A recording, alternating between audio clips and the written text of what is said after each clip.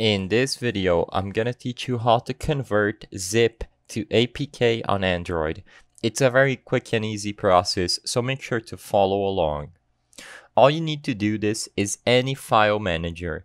Some phones, like the Xiaomi phones, as you can see here, they have default pre-installed file managers and you can use them if you'd like. However, I'm to be using this random one I got off the Play Store. As you can see, it's called File Manager Plus.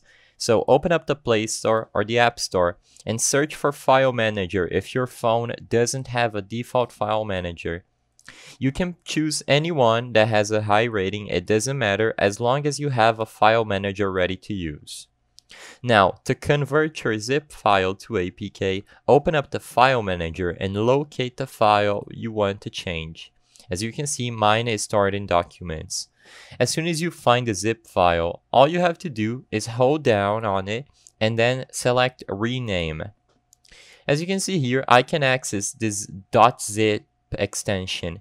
What we have to do is delete the zip extension by renaming the file and adding a new .apk extension. So leave the name of the file intact, just leave it there on the left side and add .apk on the end, replacing .zip and then press OK. And as you can see, you're to get this prompt saying that the rename was successful and now the file became an APK file. As long as it's usable, you can install this APK as usual with any other app installers you have on your phone.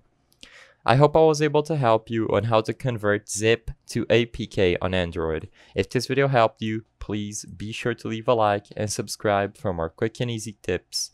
Thank you for watching.